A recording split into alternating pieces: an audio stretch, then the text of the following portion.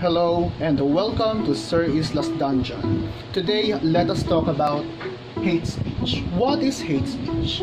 It includes threats or verbal slurs directed against specific groups of uh, people or physical acts such as burning crosses or spray painting swastikas on public and private properties. The best example of this is uh, the act of uh, the KKK, which does not stand for Katipunan, it is the KKK in uh, US.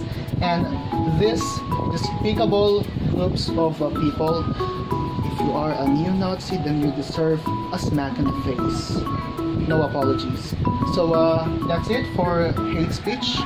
If uh, you see any types of hate speech, please do not be uh, quiet about it. Speak up to it. This is a crime. Goodbye and get lost.